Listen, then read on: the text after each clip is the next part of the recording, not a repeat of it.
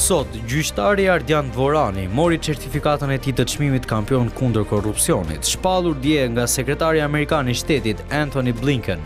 Nëpërmjet këtij çmimi të sapokrijuar, Departamenti i Shtetit vlerësoi punën e guximshme të 12 avokatëve të luftës kundër korrupsionit nga e gjithë bota. përkushtimi i të cilëve për të mbrojtur transparencën, luftuar korrupsionin dhe siguruar llogaridhënien, ka mbrojtur bashkëqytetarët e tyre dhe ka ekspozuar keqbërjen.